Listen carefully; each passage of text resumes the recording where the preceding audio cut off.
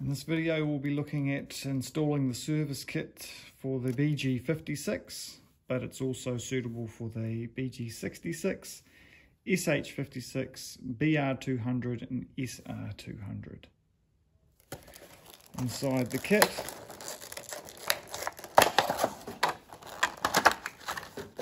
we have the air filter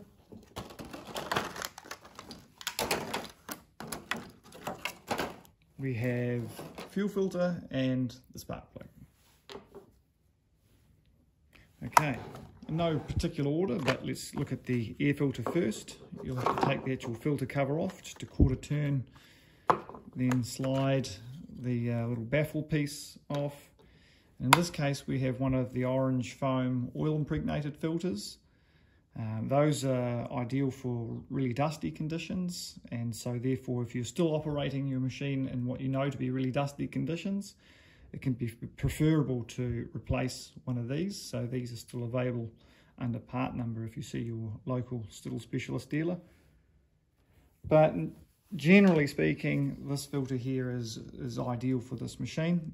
Um, and again if you are working in some particularly dusty environments a little bit of oil on this foam can be of some benefit. But generally speaking, yeah, you fit this in dry out of the box uh, as we see here. Filter goes in place. Baffle goes back on. Filter cover. Quarter turn, the filter is in. The fuel filter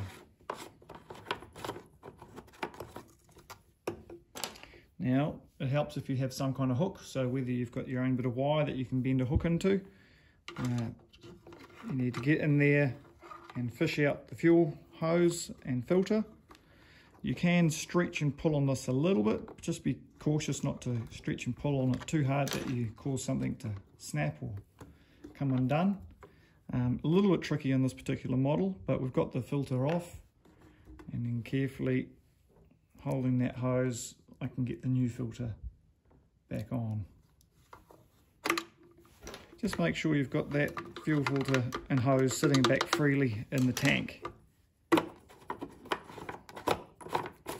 All right, and then finally the spark plug replacement. So this is where your spark plug is under here. Just give that a wriggle and pull the, the boot and terminal out of the way. Don't pull too aggressively on it.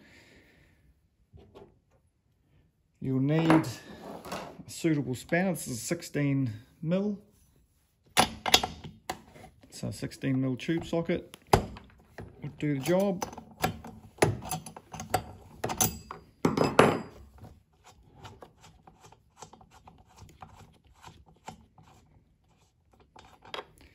It's the old spark plug, there's the new. Just pay a close attention to the gap, make sure that gap is there, that it hasn't been bumped or closed up for any reason. Uh, it should be 0.5 of a millimeter and that looks pretty good to me. Find the new plug in. And then just tighten the plug up to be nice and sort of firm. Certainly don't crank on it too hard. That feels pretty good to me. Put that into place and there we have it. We've done our service, new air filter, spark plug and fuel filter.